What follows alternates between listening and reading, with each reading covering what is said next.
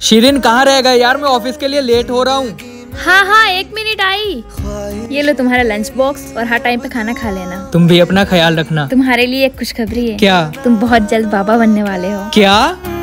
तुम सोच भी नहीं सकते तुमने मुझे कितनी बड़ी खुशखबरी दी है। आज ही मैं पूरे ऑफ़िस को पार्टी दूँगा और शाम में जल्द वापस आऊँगा। तेरे पास वादा मेरा मर भी जा। हाँ शुएब। मैम मैं हॉस्पिटल से बोल रहा हूँ। जिनके फ़ोन से आपको कॉल किए इनका एक रोड एक्सीडेंट हुआ है। आप जल्द से जल्द आ जाइए।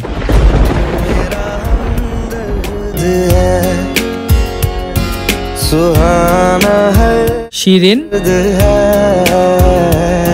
जो तुम शुएब तुम ठीक तो हो ना? तुम इतनी परेशान क्यों लग रही हो? तुम्हारा फ़ोन? अरे यार फ़ोन से याद आया वो सुबह ही किसी ने चोरी कर लिया था। खुदा का शुक्र है तुम ठीक हो। हम्म, हम